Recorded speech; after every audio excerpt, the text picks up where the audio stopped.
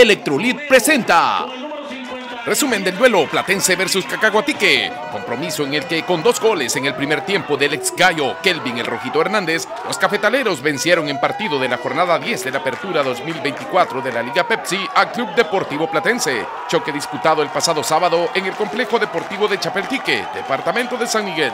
Con los cambios, el conjunto de Jorge Ábrego mejoró en el segundo tiempo, pero no fue hasta a cinco minutos del final en el que gracias a esta combinación de los recién ingresados Andrés Rivas y Hamilton Medina, la Rata consiguió el tanto del descuento.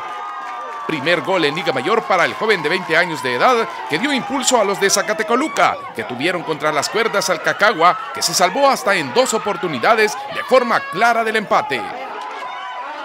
El encuentro concluyó 2 a 1 a favor de los locales, y esto dijeron los protagonistas. Estamos en un bache que creo que como familia nos vamos a levantar de esto. Eh, Claramente la afición está a gusto con nosotros, pero vamos a intentar revertir esta situación. Vamos a seguir trabajando al, al 200% y nada, este, vamos a revertir esto, primero Dios. Hay que levantar la cara, hoy nos ha tocado bailar con la más fea este torneo.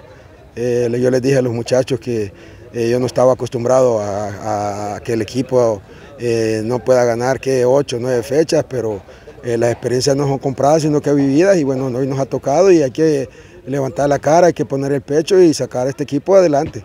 Claro, creo que fue un gran partido y pude anotar qué mal que les anoté a ellos por cómo jugué en el, equipo de los gallos, pues bueno, donde estoy tengo que defender la camisa y pues bueno, gracias a Dios se me dieron a anotar hoy y pudimos sacar el resultado. Ahí pedí una disculpa por, los goles que hice, pero bueno, así es el fútbol y, y vamos a seguir día a día trabajando para, para siempre seguir de la mejor forma. A Platense le quedará un partido más para intentar obtener la primera victoria del torneo en la primera vuelta. Será el próximo domingo a las 3 de la tarde en el Toledo Valle ante los Albos de la Alianza.